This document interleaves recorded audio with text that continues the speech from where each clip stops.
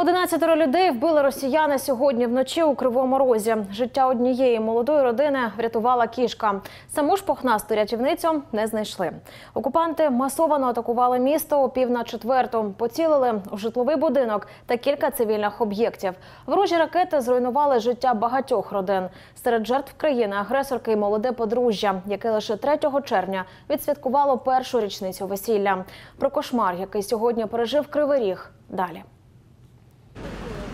Рідних пані Олени врятувала кішка. Вони жили на третьому поверсі в першому під'їзді зруйнованого будинку. Їхня домашня улюблениця почала сильно нявкати, а потім застрибнула в дитяче ліжечко, де мирно спав півторарічний Захар. Жінка й досі в шоці. Двері в квартирі її доньки заклинило, тож вона з сином та чоловіком ледь вибралися. Кошка прыгнула в детскую коля... ну, кроватку и как бы Начала разбудила, кричать. и кричать начала.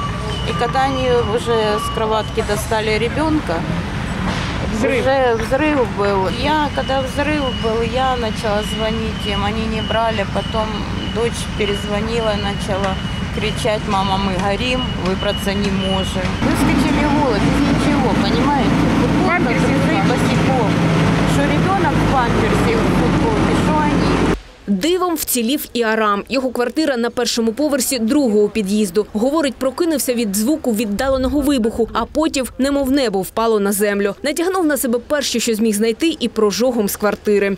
Я просто дверь открыл, уже в подъезде такой пожар был такой, я выбежал сюда. И тут уже все горело, взрывались машины. Очень страшно было, такая паника, знаете. Такой сильный звук был, как будто что-то какое-то огромное, и что мы просто весь город в таком состоянии. А це все, що залишилося від оселі пані Валентини. Вона живе у будинку поруч. Жінка зізнається, дуже перелякалася. В неї почалася істерика. Вона одразу зателефонувала доньці, а незабаром рідному брату, який живе в РФ. Він за Україну намагається усіх там переконати, каже жінка, але емоцій вона не стримала. Кажу, ви фашисти. А він, та я ж при чому і плаче теж.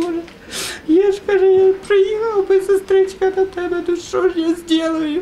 Мене ж не пускають. Кажу, так і так, кажу, нас розбомбили, кажу, все. Ну, на Путіна почала матюкатися. У нього жінка не вірить. Отсюда, з Кривого Рога, я ж з нею не общаюся. Понімаєте? Він ой, ушов до дочки.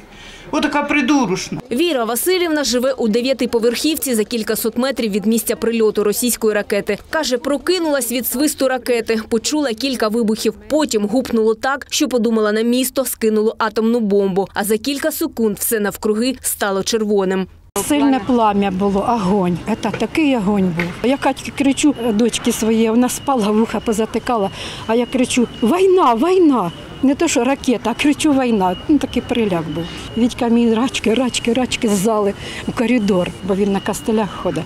І то рачки, рачки, злякався теж так сильно. Трусило О пів на четверту ранку країна-агресорка випустила по мирному місту шість ракет. Поцілили в автопідприємство, склад, рятувальний підрозділ і житловий будинок. Найбільше постраждали два під'їзди п'ятиповерхівки. У домі мешкали понад 100 людей. 12 з них витягнули з їхніх квартир непритомними. На місці трагедії працювало 53 рятувальника, 11 одиниць техніки. В перші хвилини спільно з поліцейськими е, було врятовано 12 е, людей. Через ракетну атаку у Кривому Розі загинули 11 людей, четверо з них у п'ятиповерхівці. Молоде подружжя Давид та Ксенія лише кілька днів тому відсвяткували першу річницю весілля. Ще 34 мешканці міста постраждали. 12 доправили у лікарню. Троє після надання допомоги лікуватимуться вдома. В решти пацієнтів важкі мінно-вибухові і опікові травми, переломи, різані рани. Найстарший пацієнт, який в нас зараз знаходиться, це 56-го року народження. Пацієнт, на жаль, він вкрай важкий. Це пацієнт опіковий і з дуже складним прогнозом. Самі найважчі це опікові пацієнти, які отримували дуже великий відсоток опіків е, шкірних покровів і глибини, тому пацієнти вкрай важкі. 14 червня у Кривому Розі оголосили днем жалоби. Альона Вєтрова, Юрій Смірнов, Open News, телеканал відкритий.